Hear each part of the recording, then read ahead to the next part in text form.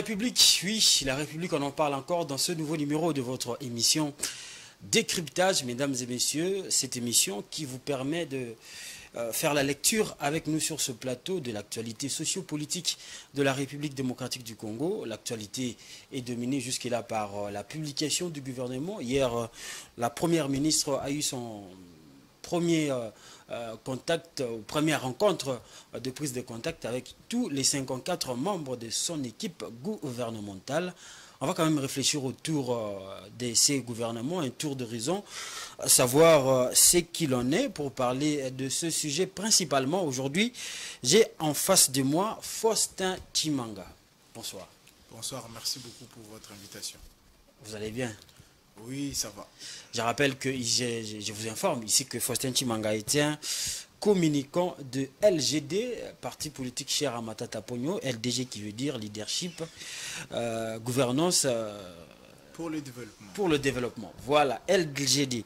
Bon, le gouvernement soumis, on va directement aller euh, dans le vif du, sujet. Le gouvernement soumis a été rendu public par une ordonnance présidentielle qui a été lue, qui a été lue il y a aujourd'hui une semaine. Et comment vous voyez ce gouvernement Aujourd'hui, euh, on parle de la taille, aujourd'hui, on parle aussi de représentativité. D'ailleurs, il y a des frustrations autour de la question. Comment vous, vous analysez cette, cette équipe? Mais vous savez déjà que c'est arrivé très tard. Euh, je pense que c'est un gouvernement qui a plus traîné avant sa, sa publication euh, je me rappelle à l'époque quand Matata Mapon, le président national de notre parti politique Leadership et Gouvernance pour le Développement, a été nommé Premier ministre parce qu'il a déjà été Premier ministre euh, de ces pays, vous le savez. Euh, juste après dix jours, on savait déjà la composition de son gouvernement. Et jusqu'ici, il a battu les records du gouvernement les plus réduits de l'histoire de la République. 35 ministres. Matata 1 avait 35 ministres. Donc vous comprenez là Matata 2, ça évolue. Hein? Euh, non, mais vous comprenez le contexte politique dans lequel euh, Matata 2 a été euh, constitué. C'est après les dialogues, après la, les concertations nationales. Et vous, vous remarquerez que c'est quand la donne beaucoup plus politicienne entre en danse. Et aujourd'hui, on a la donne beaucoup plus politicienne qui a décidé sur les nombres euh, des ministres. On est à près de 54 euh, ministres et peut-être bientôt 55 parce qu'il paraît qu'on va devoir euh, satisfaire la demande de la représentation du Maniema parce qu'on a omis ou oublié et moi, je ne pense pas qu'ils ont oublié. Ils ont sûrement décidé que ça soit ainsi. Pourquoi ils décideraient comme ça? Non, parce que la province du Maniema est réputée être une, une province acquise à l'opposition. Ah, depuis quand ça Non, mais, mais vous savez que le président actuel n'a pas été élu au Maniema. Donc, le Maniema a choisi un autre candidat président. Euh, et nous, ce n'est écrit pour personne, selon les résultats qui ont été euh, donnés, décidés par la, la, commission électorale dite indépendante, on, constate que le Maniema n'est pas acquis au pouvoir actuel. Le, le Maniema est le, les fiefs naturels de l'opposition, entre autres avec euh, le LGD, Leadership et Gouvernance pour le Développement, porté par euh, son président national, Augustin Matata Mapon, qui est le leader naturel du Maniema. Et vous comprenez que cette province-là a été sciemment oubliée parce qu'on ne voulait pas une représentation de cette province-là. Vous savez que les grands Katanga aussi n'ont pas élu euh, Félix Tshisekedi. Mais justement, et les grands Katanga n'a pas élu Félix Tshisekedi. C'est une province qu'on ne pouvait pas ignorer. Et il y a combien de ministres du Katanga? Et nous savons que la seule zone géographique politique qui regorge beaucoup plus de ministres. Et vous êtes euh, sans ignorer que c'est le Kasaï. Donc vous comprenez. Province, hein. Ah ouais, mais vous comprenez qu'il y a à boire et à manger. Comment il y a des équilibres euh, géopolitiques euh, quand il s'agit de pouvoir satisfaire. Il n'y a pas Kinshasa, il n'y a pas Maniema, et des choses qui est étonnant quand même. Vous ne pensez pas qu'on a, on peut se poser les questions sur euh, la géopolitique ou la considération représentative de toutes les couches sociopolitiques de la RDC. Mais si l'espace s'est retrouvé dans beaucoup de listes avec des élus, Qu'allons-nous faire? Non, mais vous savez, l'espace s'est retrouvé avec beaucoup d'élus et je ne pense pas que les députés les mieux élus sont du Kassai. Et nous savons que le Maniema a produit euh, l'un des députés les mieux élus de la République. Et comment vous, vous, vous, expliquez que le Maniema ne se retrouve pas dans le gouvernement si ce n'est par une volonté politique de pouvoir ignorer euh, le Maniema parce que c'est une province acquise à l'opposition? Donc vous comprenez là que déjà d'entrée de jeu, on comprend que le gouvernement qui a longtemps duré pour euh, euh, nous révéler la composition, c'est aussi un gouvernement qui ne nous laisse pas très euh, enthousiastes par rapport aux défis qui sont liés à, la situation actuelle de la RDC. Mais nous sommes républicains, nous souhaitons bonne chance à ces gouvernements pour qu'ils puissent produire les résultats parce que nous savons que si résultat il y a, ça sera pour Justement ça, la posture républicaine. Oui, effectivement. nous sommes républicains, nous encourageons à ce que les ministres qui ont été choisis en âme et conscience par le président de la République, bien sûr, sur proposition de la Première ministre, puissent répondre aux désirata de la population et puissent répondre aux défis énormes de notre République. Donc nous ne pouvons qu'encourager, nous ne voulons pas être dans la posture d'être les prophètes de malheur, nous ne souhaitons pas les malheurs au, euh, au gouvernement actuel, mais nous souhaitons qu'il y ait la rigueur.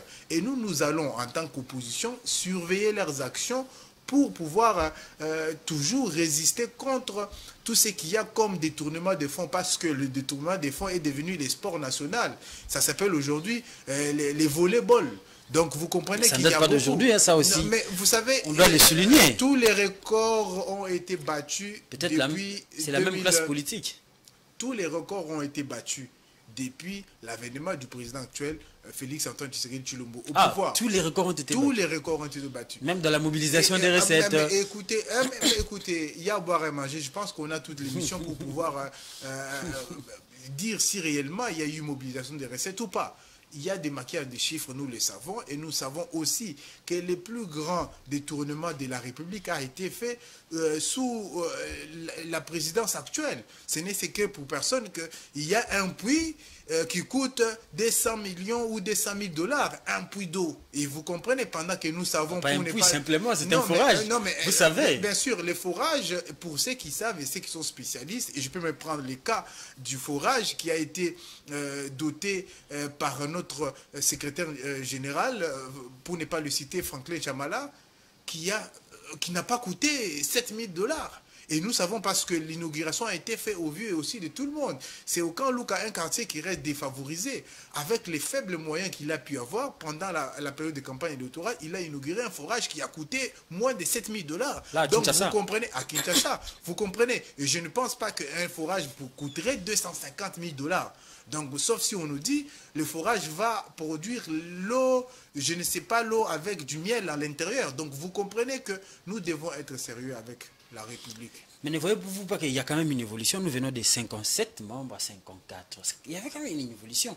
Est-ce qu'évolution il y a par rapport on vous dit, ils n'ont toujours pas battu les records de Matata Mapon. Matata Mapon. Mais ce n'est pas aussi l'unité des mesures. Non, mais vous, savez que les meilleurs d'entre nous doivent être l'unité de mesure de la bonne gouvernance. Ok. Matata Mapon est les meilleurs d'entre nous. C'est comme ça qu'il ne faudrait pas avoir honte d'inspirer d'un homme comme Matata. Nous savons que les chiffres sont loquents.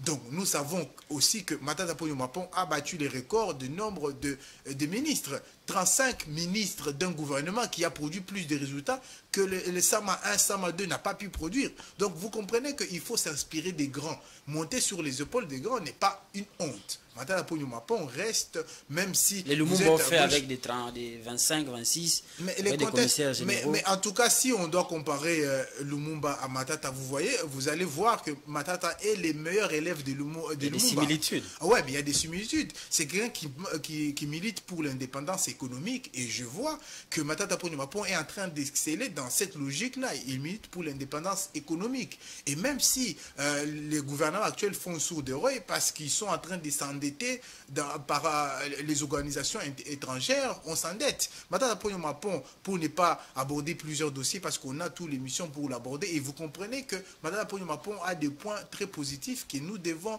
euh, mettre toujours en avant. C'est-à-dire que Madame Mapon a laissé le pays avec une dette intérieure de 3 milliards ou 4 milliards maximum. Et aujourd'hui, on a à peu près plus de 11 milliards de dettes extérieures. Déjà vous Oui, Au bout de trois ans de gouvernance de À peine on parlait de 10 milliards. Aujourd'hui, Non, mais on est à 11 milliards. Et vous savez que si les gouvernements assument 10 milliards, attendez-vous que ça soit beaucoup plus parce qu'ils ne peuvent pas assumer tous les chiffres tels qu'ils sont. Et ah, c'est choquant. Même les 3 milliards. Euh, euh, laissé par Matata Ce n'était pas les 3, c'était pas 3 euh, milliards. C'est un politique. Hein. Matata Mapon a laissé entre 3 milliards et 4 milliards de dettes extérieures. Aujourd'hui, on est à plus de 10 milliards. Vous comprenez qu'on a régressé. Pendant qu'un travail était fourni avec la volonté de, de, faire des efforts pour ne pas être dépendant de l'étranger. On a pu pouvoir pour, euh, arriver au point euh, d'achèvement, vous n'avez pas oublié. Et tout ça, c'était au prix des efforts des Congolais. Aujourd'hui, on, on, on, arrive quand même à finir un programme. Hein. Mais à finir quel programme? Quel programme a été fini? Avec le FMI. Ah, mais vous savez... Vous parlez des points d'achèvement. Vous savez, les Je pense que vous faites euh, allusion à ça. Mais le FMI est considéré par Matata Ponyumapon comme étant un de de malédiction euh, du sous-développement. Dans, dans, son dernier livre qui va être rendu public très, très bientôt, il en parle déjà. Parmi les malédictions du sous-développement, on trouve les, les, programmes du FMI. Il n'y a aucun pays au monde qui a été développé grâce à l'FMI. C'est inségré pour personne. C'est parmi les malédictions du sous-développement. Vous allez peut-être avoir le temps de lire en profondeur les derniers livres de Matata Mapon parce que c'est un de rares qui écrit au moins des livres minimum par, par année et il faut quand même euh, être Matata pour le faire. Des livres minimum par année Oui, l'année passée. Pas des tribunes ou des. Non, qu'est-ce que C'est que je pense. Ce que je pense, c'est une fois par mois et les livres, vous allez voir, il a publié avant les élections un livre intitulé euh, du bidon. Euh, enfin, tout le temps, j'ai fait euh, la confusion parce qu'il y en a beaucoup. Il y a du bidonville à la primature qui a été publié beaucoup C'est pas lui. ah oui, c'est vrai, c'est pas lui. Je suis en train d'y arriver pour vous dire que l'avant-dernier livre de Matata Pogno Mapon, c'est Une vie, une ambition. Et après les élections, il publie euh, un autre livre que je vous laisse découvrir parce que ça va euh, être porté au fond baptisme très bientôt. Donc vous comprenez que nous sommes en train de travailler pour la République. Matata Mapon est en train de porter travailler les valeurs pour la, République. Ce n'est pas aussi se retrouver par exemple dans, dans, le gouvernement et travailler euh, et avoir les, les, pieds dans le feu. Pourquoi cela est refusé carrément par LGD. Mais vous savez que le LGD est la réserve de la bonne gouvernance. Notre particularité, c'est la bonne gouvernance. Ah, la réserve, comment Vous n'avez pas encore géré? Les leaderships de qualité, c'est le LGD qui les porte. Et ce n'est écrit pour personne que les partis spécialistes en leadership et gouvernance de qualité, c'est le LGD.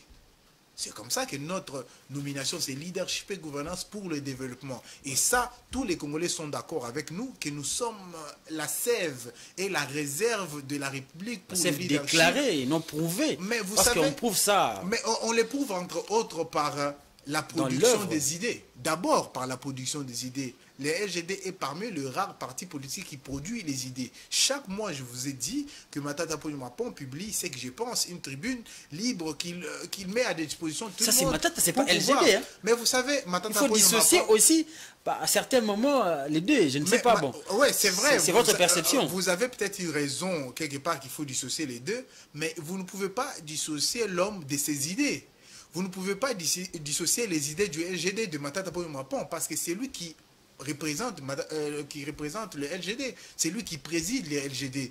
Les idées de Matata sont aussi les idées du LGD parce que nous épousons la vision de Matata pour le Mapon. Il n'y a pas d'organisation sans vision, il n'y a pas de vision sans leader. Et vous comprenez que s'il y a un leader, ça veut dire qu'il y a une vision. Si Matata pour le Mapon est président du LGD, ça veut dire que le LGD suit la vision de Matata pour le Mapon. C'est vrai que à, euh, nuances près, on pourrait dissocier, mais il faudrait retenir qu'on ne peut pas euh, dissocier les partis politiques de son président. Euh, si vous faites ça, je crois que c'est biaisé la démarche. Les partis politiques sont en train de suivre une vision. La vision est portée par une personne, en l'occurrence Matata Mapon, pour le LGD. Et c'est quelqu'un qui produit des idées chaque jour, chaque semaine, chaque mois et chaque année. Merci beaucoup. Mesdames et messieurs, je suis en face de moi. Vous comprenez que le nom de Matata Mapon revient euh, à chaque instant. C'est normal parce que nous sommes... Euh, j'ai en face de moi euh, le communicant de LGD. Le LGD, c'est une idée, c'est une production intellectuelle de Matata Aponio. Mais je, je, veux bien que vous, vous citiez le président de votre parti, mais je veux un peu vous poser cette question. est-ce que quand même on peut se réjouir, on peut se réjouir, on peut tout dire autour sur le gouvernement, mais on peut aussi quand même se réjouir de quelques profils, notamment, j'ai vu beaucoup de gens citer par exemple Daniel Mkoko Samba, il y a des gens qui citent aussi le nouveau ministre de, Finances, Doudou Famba, il y, a, des noms comme ça. Est-ce que vous, vous avez déjà fait cet exercice? Ouais, c'est vrai que nous avons vu des figures qui ont euh, qu'on a nommées pour qu'ils assument des fonctions. Mais il ne faudrait pas être naïf en pensant que des par les noms, ah, mais, écoutez, des par les noms d'une personne, on sous-entend des résultats. Non, nous attendons voir. C'est pour ça que nous, nous souhaitons bonne chance à tous les ministres qui ont été nommés, parce que nous savons que nous devons avoir l'attitude républicaine, parce que le LGD, c'est un parti républicain. Nous encourageons les ministres nommés de pouvoir fournir des efforts pour euh, répondre aux exigences euh, de la situation socio-économique de la RDC. Vous comprenez, déjà, de par les noms cités, on suppose que le président de la République a vu qu'avec ces personnes choisies, il va obtenir des résultats et répondre aux aspirations du peuple. Qui euh, pourrait connaître le mieux les aspirations du peuple que le, président de la République? S'il a été euh, proclamé élu par la CENI dans les conditions que nous connaissons tous, c'est parce que la CENI, par son bon vouloir, a estimé... la volonté de la population. Ah, non, ça, il y a à boire et à manger en tout ah cas. Bon, déjà. Il y, a, à boire et à manger sur la volonté du peuple. Mais il y a à boire et à manger, on pourra en discuter en profondeur parce que nous allons aborder la question liée à la CENI, bien évidemment.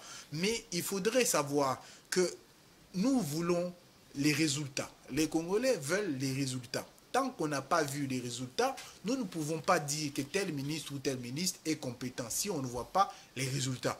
Pourquoi aujourd'hui, tout le monde à gauche et à droite, on est d'accord avec Matata Ponimapo parce qu'on a vu des résultats. Son nom est attaché aux résultats. Et aujourd'hui, il y a des ministres qui sont passés. Au bout d'un mois, on va les oublier. Pourquoi ils n'ont pas produit des résultats? On peut se satisfaire des noms, mais tant qu'il n'y a pas de résultats, on ne pourrait pas dire que tel ou tel ministre a été excellent. Ben, on se satisfait des noms justement parce qu'on se réfère, par exemple, à leur passé. Ils ont travaillé dans tel gouvernement, ils ont fait ceci, ils ont travaillé dans telle administration, ils ont fait ceci. C'est pas aussi quand même un péché. Et justement, ils, sont, ils ont travaillé dans une administration. L'administration était animée par quel système d'exploitation? C'est oui à la, question. Vous avez, par exemple, pour le cas de Matata Pogno 1, le gouvernement Matata 1, les systèmes d'exploitation, c'était la rigueur, la ponctualité.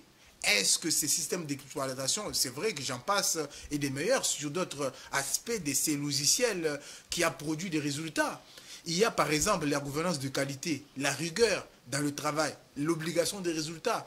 Tout ça constitue les systèmes d'exploitation Matata qui a permis à ce que les ministres qui étaient dans le gouvernement Matata ont produit des résultats. Mais écoutez, aujourd'hui, nous, nous avons un système d'exploitation Union dite sacrée qui est déjà... Pas Matata, qui est déjà... Euh, Union sacrée, mais non, Union sacrée. Elle est membre d'Union sacrée, sauf si vous me dites qu'elle n'est pas membre de l'Union sacrée, ça m'étonnerait. Elle est membre de l'IDPS et l'IDPS est parmi les têtes des listes de, de, l'Union dite euh, sacrée.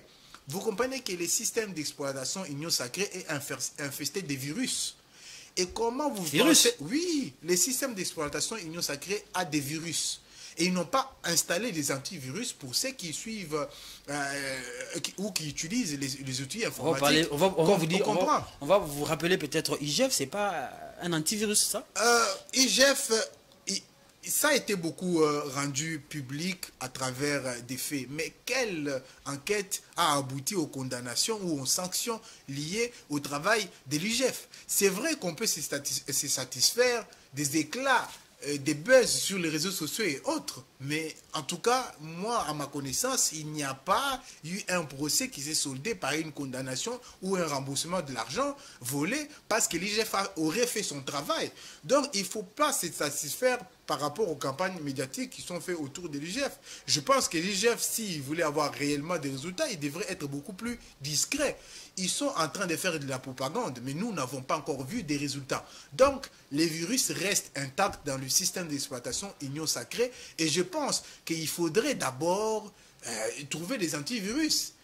Parce qu'il y a un ce qui n'est pas encore trouvé. Euh, je ne pense pas. Et déjà, les tractations qui sont faites autour du gouvernement et la sortie du gouvernement les, les prouvent qu'il y a des virus au sein de l'Union sacrée. Comment ça? Même pour les tractations, euh, en vue de constituer le gouvernement et les Mais s'il y a un système d'exploitation qui est basé sur la rigueur, sur la ponctualité, sur les, exigences du travail, sur l'exigence du, du, résultat, j'allais dire, comme à l'époque avec Matata 1, on n'avait pas besoin d'un mois ou de deux pour pouvoir décider sur la composition du gouvernement. Je vous ai dit tout à l'heure, et je vous ai rappelé, je sais que vous le savez, que Matata Mapon a eu besoin de 10 jours pour pouvoir euh, nous rendre public sa composition. Ça veut dire qu'il était animé d'un système d'exploitation fiable.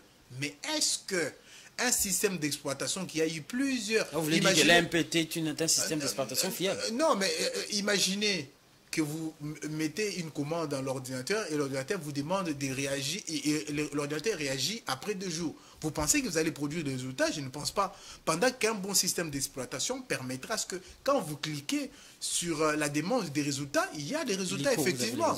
Voilà. Et le, gouvernement siminois, euh, siminois j'allais dire, excusez-moi, Madame la Première ministre, que ces gouvernements n'est pas assis sur un bon système d'exploitation. Et j'ose croire, pour ne pas être pessimiste, que les résultats dépendront de la capacité de la Première ministre de pouvoir enlever les virus qui est dans le système. Et je pense qu'il va avoir du pain sur la planche parce que la tâche ne sera pas facile. On connaît comment l'écosystème politique de l'Union dite sacrée est en train de fonctionner. Et je pense que nous sommes en train d'aller vers le déclin de cette euh, famille politique. Comment ça, qui pas... vers le déclin Nous sommes en 2024, je vous rappelle. Non, mais, mais on est en 2024 oui, c'est vrai, 2024 et 2028, ce n'est pas loin. C'est comme ça que nous, on était prévoyants. Nous sommes prévoyants au LGD. Comment ça va? Avec quoi? on Avec notamment l'organisation du conclave politique, qui a statué sur l'état euh, du parti, qui a statué sur euh, les élections de 2023. On va parler de, votre conclave, euh, bien évidemment, mais on revient encore autour de ce gouvernement pas du gouvernement, mais on va parler du pays, bien évidemment. Il est clair aussi que le pays est dirigé par un gouvernement. Euh, quand vous voyez le Congo, vous en tant qu'analyste politique, vous en, en tant que citoyen congolais, est-ce que nous avons des priorités? Si vous pouvez épingler quelques-unes. Euh, non, mais vous savez, euh, tout est prioritaire en RDC maintenant. Comment ça?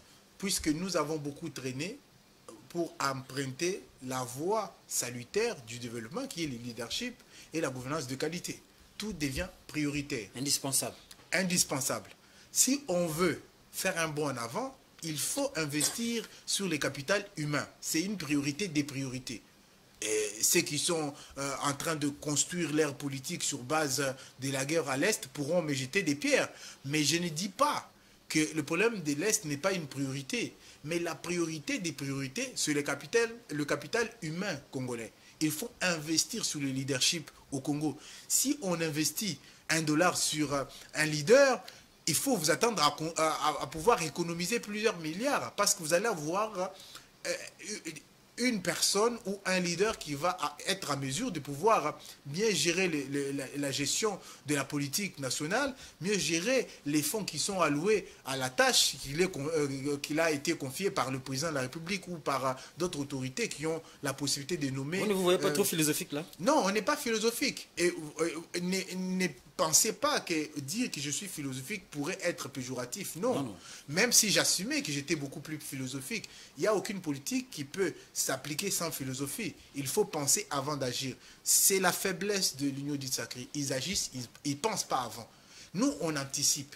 On réfléchit avant d'agir. On réfléchit avant de proposer. Mais vous allez réfléchir autour de quoi? Il y a des priorités.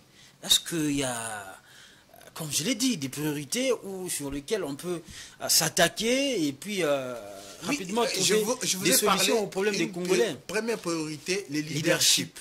C'est la, la, bonne gouvernance. Ça marche ensemble. Leadership et gouvernance, c'est un binôme magique, comme on aime bien le dire.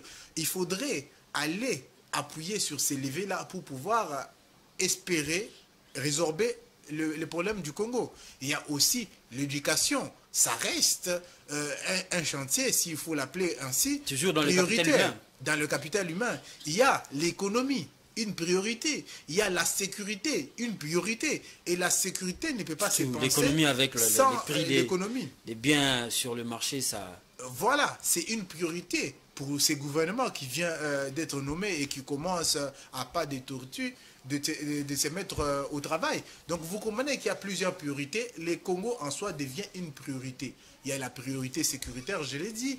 Il y a la priorité culturelle. Il y a la priorité même dans le sport. Parce que vous savez, aujourd'hui, on peut se développer grâce au sport. C'est comme ça que même la notion de la géopolitique du sport est en train de, faire son bon euh, son chemin. Parce que justement, il faut penser aussi des développements grâce au sport. Et vous le savez que les championnats nationaux n'ont plus de niveau, ce n'est écrit pour personne.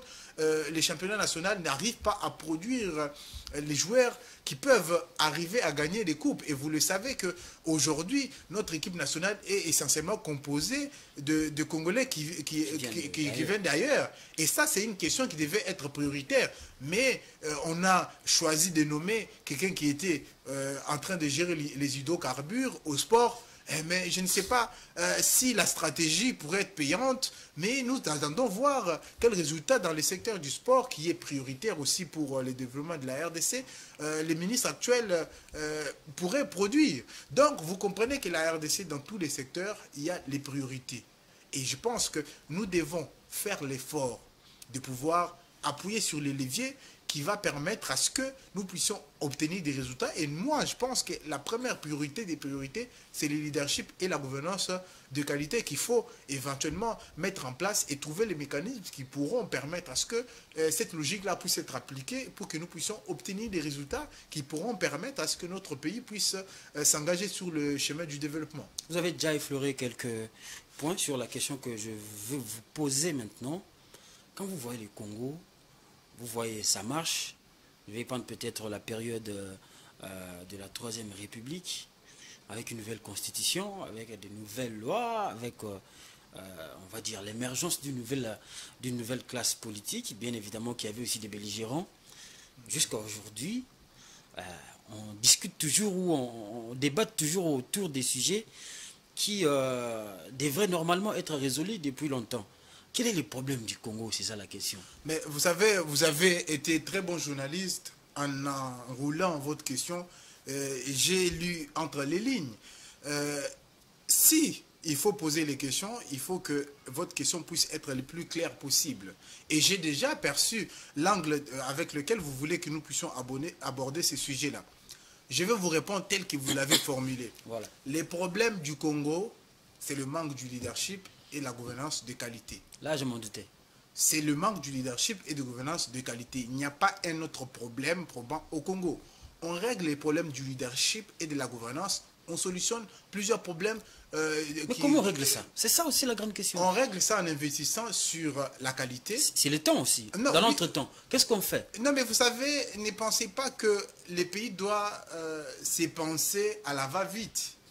Les leaders, c'est quelqu'un qui est prévoyant, je ne cesserai jamais de le dire, le leader, c'est quelqu'un qui a une vision. Et quand on a une vision, on a la notion du temps. Il y a le temps électoral, il y a le temps de gestion et il y a le temps du futur et de l'avenir d'un pays. il faut penser en fonction du temps long. Et si on pense sa politique en fonction du temps électoral, c'est comme ça qu'on a l'impression qu'on n'a pas le temps. Et les personnes qui, qui pensent réellement... Comment n'est pas pensée électorale alors que notre constitution nous exige, dans cinq ans, vous devez euh, rendre le pouvoir au peuple congolais et euh, le peuple congolais doit encore choisir. Donc vous voyez que nos dirigeants sont contraintes à ces facteurs temps. Parce que cette question, s'il vous plaît, hein, cette question, ça peut aussi revenir un jour, même quand vous serez au pouvoir. Non, mais vous savez... Je, n'ai pas des bouts de cristal. mais, mais, écoutez, je, veux, je vois là où vous voulez en venir et ça me fait sourire. On va, on va aller dans le fond de la question si vous le voulez bien. Mais il faut savoir qu'il faut réfléchir en fonction d'un temps long. Ok. Un bon leader a une vision. Et quand vous avez une vision, vous n'avez pas besoin de penser que par rapport aux élections. Il faut penser à venir. Il faut penser même au-delà de votre vie. C'est ça être un bon leader. Quand vous êtes un leader, vous pensez 10 ans, 20 ans, 30 ans avant. Et je pense même que pour ceux qui aiment bien lire, ils, conviendront avec moi que 2030 a été déjà pensé par beaucoup euh, des, penseurs, et des têtes pensantes du monde. Je ne citerai pas Jacques Attali et son livre euh, qui parle de euh, une brève histoire de l'avenir. Il parle déjà de 2050, 2030. Et vous pensez que un leader qui pense les pays à l'horizon 2050 aura peur de 5 ans d'élection, aura peur de 5 ans de mandat, où il aura besoin d'échanger de constitution pour se maintenir au pouvoir. Je ne pense pas. Il va penser, il sait que j'aurai 10 ans. Qu'est-ce que j'accomplis dans 5 ans, dans 10 ans, pour que je puisse réellement avoir de l'impact? Parce que nous savons que nous ne sommes pas éternels sur la terre. Et puisque nous sommes passagers sur la terre, il faut penser la gouvernance avec un temps long en pensant évidemment que nous ne sommes pas éternels. Il ne faudrait pas... J'ai compris que c'est ça le problème du Congo. Non, les problèmes du Congo, c'est le leadership. Et puis, il y a un leader qui pense à long terme. Voilà, effectivement. On n'a pas encore eu ce leader. Mais, écoutez, je vous rassure, Matata Pogno Pampon est parmi ces leaders qui pensent sur un temps long. Avec quelle action Mais je vous invite, je vous invite à lire ses ouvrages et à lire ses pensées politiques. Ce sont des idées. Vous allez, euh, et bien, bien sûr, l'homme est constitué des idées. La gouvernance ne peut pas se faire sans idées. Vous êtes d'accord avec moi Non, à un moment donné, il était au pouvoir. Quelle action poser qui peuvent euh, bien évidemment s'étaler dans le long terme. Mais, vous voulez que je parle dans le concret Je vais aller dans le concret. Matata Mapon a pensé l'avenir. Il fallait qu'aujourd'hui, on, on puisse résorber la question du coulage de recettes. Il a pensé la bancarisation. On n'était pas en 2024 quand il a ah, pensé la bancarisation. Ça, c'est la meilleure. Oui, il a pensé la bancarisation parce qu'il avait anticipé les années. Il avait même anticipé les décennies. Il avait fait un bond en avant. Il a vu que partout au monde, les circuits bancaires permettent, on ne dit pas que ça diminue euh, ou euh, ça finit totalement la corruption ou autre chose, mais ça diminue euh, vraiment le coulage des recettes et ça diminue la corruption. Et si on avait tout bancarisé à l'époque de Matata, c'est justement pour permettre à ce que le pays puisse, puisse être en mesure de surveiller et de suivre comment l'argent est géré et avoir une certaine traçabilité. C'est un leader qui pense dans un temps long. Je vous ai donné la preuve qu'il a pensé à l'avenir de la nation, l'avenir économique du pays. Il a mis en place la bancarisation. Aujourd'hui, euh, on n'a pas débancarisé, même si euh, il y a des circuits parallèles de paiement euh, des, certaines factures et tout, nous le savons, qui cherchent à contourner les circuits normaux parce que justement, ils sont habitués à détourner via euh, des moyens qui ne sont pas traçables. Merci beaucoup, Faustin Chimanga. Nous allons aborder euh, le, un autre sous-thème euh, que j'avais prévu pour cette émission. C'est la question, bien évidemment, de votre conclave. Le premier de votre parti depuis sa création. Mais je m'en voudrais si je ne dis pas ou je ne parle pas de ce message. J'ai eu beaucoup de messages avec l'émission du lundi que j'ai passé ici avec M. Mike Kibaka de Nouvel Élan. Et voilà, on a parlé de l'enseignement primaire et secondaire avec euh, la gratuité de l'enseignement où les, enseignants, euh, il avait dit que les enseignants gagnent 200, 250 000. Mais j'ai eu un appel, mais aussi des messages des enseignants qui ont dit que les enseignants de Kinshasa, par exemple, gagnent 395 000 francs. Voilà, c'était le message que je devrais passer. Mais il a dit, c'est 300 95 000 francs congolais. Et ce qu'il m'a dit en lingala, ils permettre à été, même euh, s'il prend seulement deux rubriques des dépenses de sa vie, transport, nandaku, le transport et euh, le loyer, ça ne peut pas, avec ses cinq enfants, les scolariser, d'autres sont à l'université, c'est compliqué. Bon, le deuxième message, c'était par rapport à la nomination du gouvernement, c'était M. Ricky qui m'a envoyé euh, un message disant que dans le gouvernement, il y a certainement des Congolais qui ne le sont pas à 100% et ça pose le problème de la loyauté à la nation. Il s'appelle Ricky, je ne vais pas aller loin avec son nom parce que je, ne veux pas qu'il s'attire des ennuis. Voilà, nous sommes euh, sur ce plateau avec M. Faustin Chimanga, l'homme de la clarté du parti politique leadership euh, et gouvernance pour euh, le développement. Vous avez organisé récemment, nous sommes déjà euh, en train d'aller vers la fin de cette émission. Ça vite, mais c'est passionnant. vous avez organisé votre, bien évidemment, conclave, le premier, on l'a dit ici. Et parmi les idées qui sont sorties, surtout dans les réseaux sociaux, mais aussi dans les médias traditionnels, par exemple la question de la Constitution. Pourquoi vous ne voulez pas qu'on change ou on modifie cette Constitution Alors que c'est une œuvre humaine qui peut porter des erreurs et des, imperfections et ça peut euh, être, justement euh, rentrer dans les circuits de la perfection et parfaire les choses. Pourquoi pas avancer que vous pensez que nous devons garder cette Constitution? Euh, comme vous l'avez dit, nous avons été en conclave politique euh, du 30 au 1er juin 2024. Du 30 mai au, du 30 mai au, 1er, juin, 2024.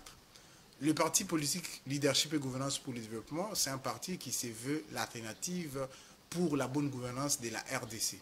Dans cette optique, nous anticipons les événements, nous réfléchissons, nous nous disons qu'il faut donner à la RDC les idées qui sont à la hauteur de sa grandeur. C'est comme ça que le cadre membre du LGD, venu de toutes les provinces, donc toutes les provinces ont été représentées à ces conclaves politiques justement pour réfléchir sur la marche du parti, sur euh, comment on s'est comporté pendant les élections, comment euh, on a pu euh, mener notre action politique aux élections, analyser le contour des questions électorales, et bien, bien évidemment c'est les élections de décembre 2023.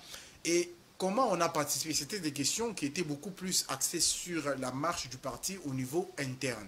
Mais au-delà de ça, nous avons analysé la situation sociopolitique de la RDC et on a analysé aussi les questions de l'heure notamment la question sur le changement de la Constitution. La possibilité. À l'issue du conclave politique, les camarades euh, conclavistes et le camarade du parti en général ont décidé, avec leur président national, Augustin Matata Mapon, que nous ne pouvons pas toucher à la Constitution. Les pouvoirs actuels ont touché à l'argent des lampadaires. On les permet de toucher. Ils ont touché à l'argent des forages. Ils peuvent toucher.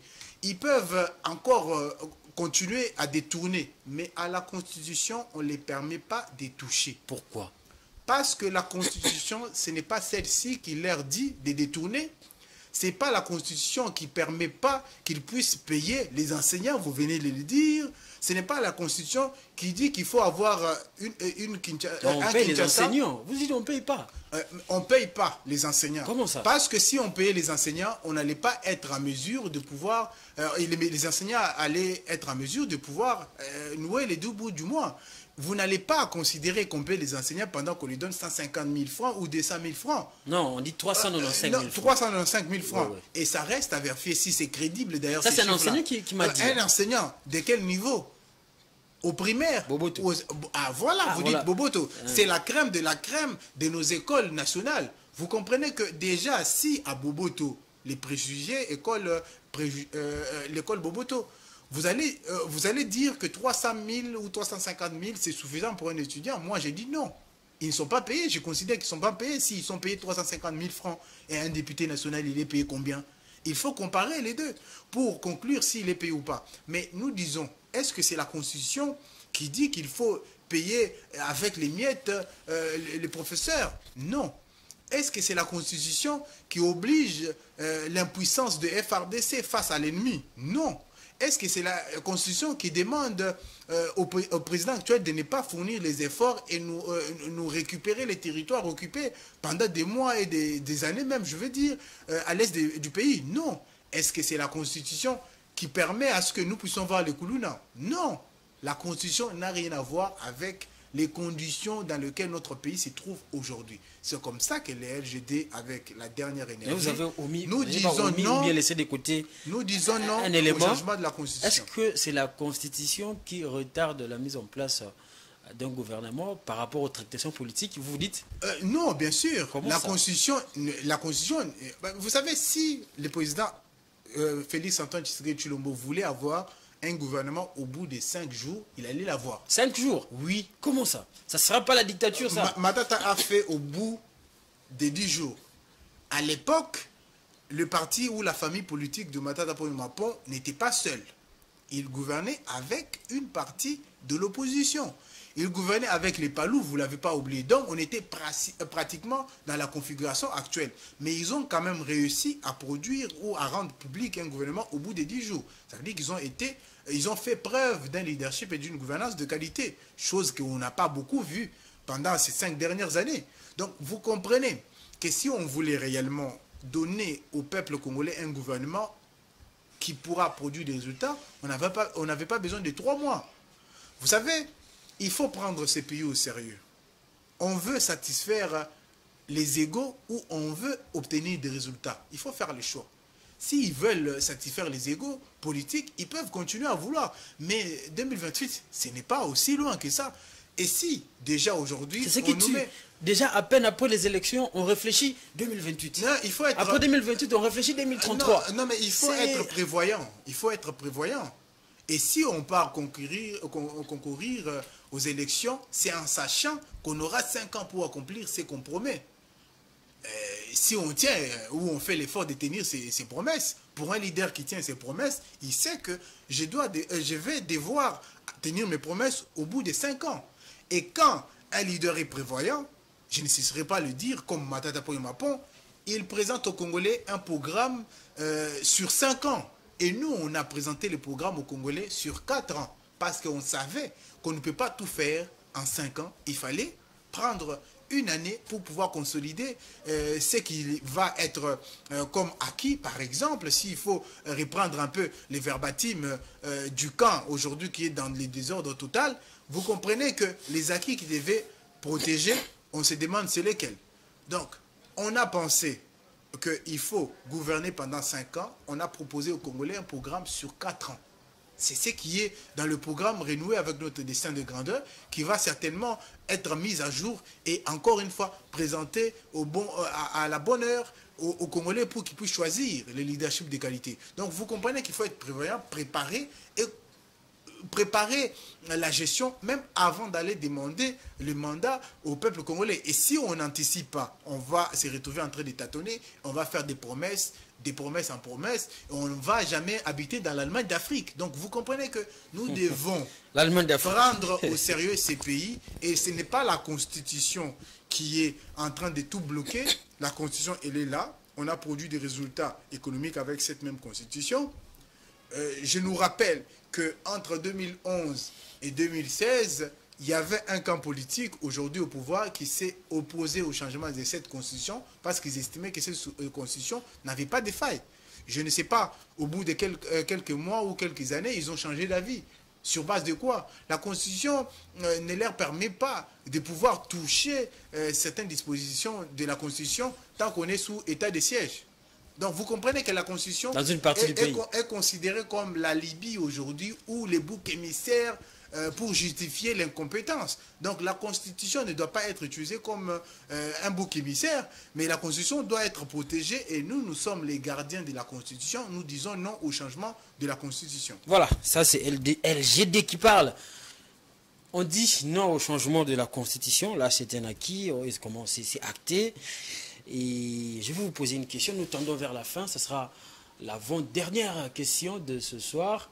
Faustin Chimanga, au regard de tout ce que nous avons vécu depuis euh, de, le, début, le, début de cette année, élection déjà à la fin de l'année 2023, 2024, euh, nous avons euh, l'investiture, la publication des résultats. Aujourd'hui, on parle du gouvernement et on attend son investiture qui aura lieu d'ici là. Comment voyez-vous les Congo dans 5 ans? Euh, je vais en venir. Je vois le Congo en 5 ans sans la CENI actuelle. Comment ça?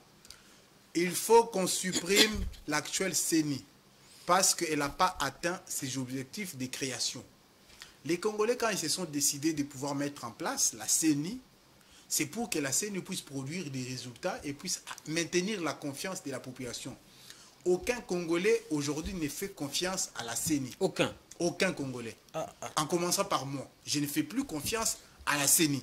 C'est comme ça que nous, membres du LGD, avec bien sûr notre président national, nous demandons purement et simplement la suppression de la CENI. Vous ne pensez Il faudrait qu'on la remplace par une organisation internationale qui pourra être crédible dans l'organisation des élections. Vous, pensez, vous ne pensez pas que les Congo du haut de ces 64 ans d'indépendance, comme vraiment 64 ans d'âge, on va dire, en tant que pays, avec des hommes politiques réfléchis qui produisent des idées, notamment Matata Pogno, et que nous déléguons notre pouvoir d'organisation d'un événement aussi crucial que les élections à, une organise, un organisme international. Mais vous, vous, ne voyez pas que c'est aussi un peu une insulte à notre, à notre ego en tant que nation En fait, la, la gouvernance ne se vient pas avec les égaux ça se fait avec une objectivité. Mais c'est une question de souveraineté. Il faut être objectif. Je vais en venir.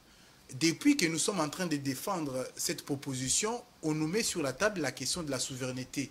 Est-ce que vous pensez que la sécurité n'est pas souveraine ou n'est pas une question de souveraineté nationale? Mais aujourd'hui, nous avons légué la sécurité. Je vais en venir. on, pas légué. on a légué la sécurité du peuple congolais par les organisations internationales. Comment les AC, c'est congolais ce n'est pas congolais. Mais il y a combien concomitamment. Il y a combien Mais bien, sûr, l'organisation internationale qui va venir. Euh, non, ils sont dans l'observation. Non, ils sont dans, dans, dans, dans, la révision du fichier électoral. C'est déjà ça. Mais, vous savez, ils nous aident avec ça. Mais vous savez, la CENI produit les machines à voter. Quelle société congolaise produit les machines à voter? C'est une organisation internationale, une société internationale qui produit les machines à voter. Les bulletins sont produits par une organisation internationale. Par une société qui une société qui étrangère, est, étrangère qui, qui, fonctionne à l'international, vous êtes d'accord Et si vous prenez la, les machines à voter, les bulletins de vote, les ordinateurs qui sont produits par euh, les organisations internationales, qu'est-ce qui reste à la CENI qui produit au Congo?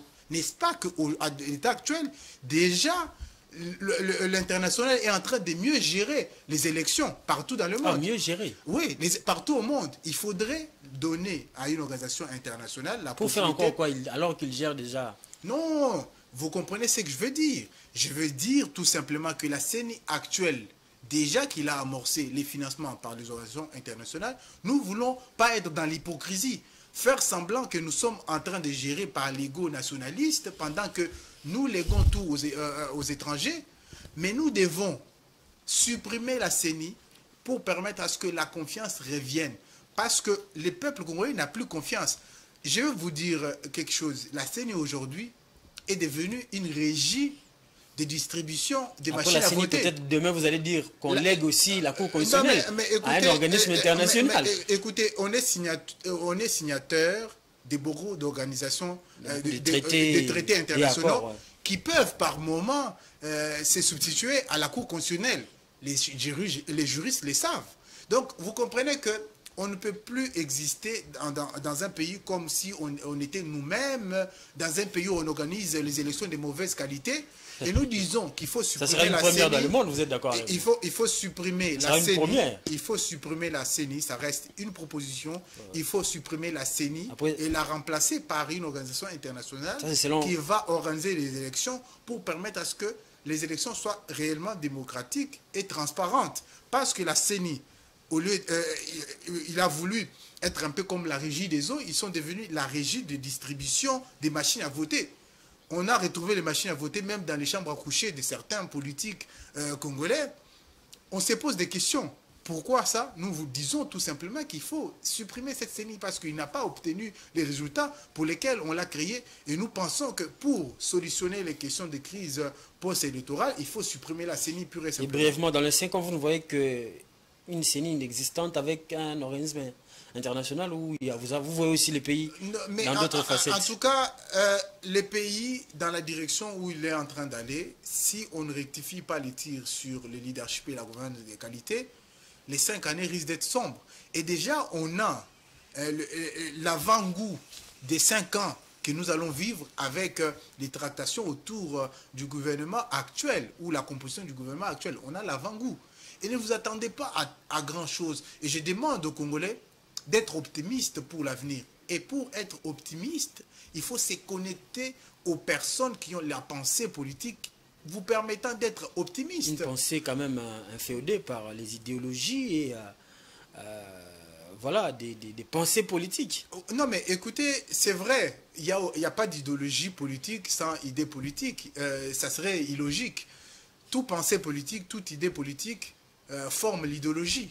Et c'est l'idéologie euh, du LGD euh, que je demande aux Congolais qui veulent réellement les changements de suivre et permettre à ce que l'avenir puisse être construit sur le leadership et la gouvernance de qualité. Ça pourra permettre à ce que nous puissions euh, renouer avec notre destin de grandeur. Merci beaucoup, Faustin Chimanga. Merci beaucoup pour votre invitation. Voilà, à vous, chers téléspectateurs, nous disons merci de nous avoir euh, suivis durant toute cette émission. Nous sommes arrivés pratiquement à la fin. Et si vous nous avez suivis ou capté 5 sur 5 chez vous, il faut dire merci à Guilain Boutella, il faut dire merci à Papa Eddy, notre papa national, Eddy Kani, a dit, euh, euh, Eddy, votre papa Eddy, bien évidemment. Il faut dire merci aussi à Giscard Tamba. Et quant à moi, je vous dis bonsoir et nous nous retrouvons très prochainement, c'est pas loin, c'est ce lundi à la même heure, mais aussi à la même chaîne Géopolis Télévision, votre chaîne.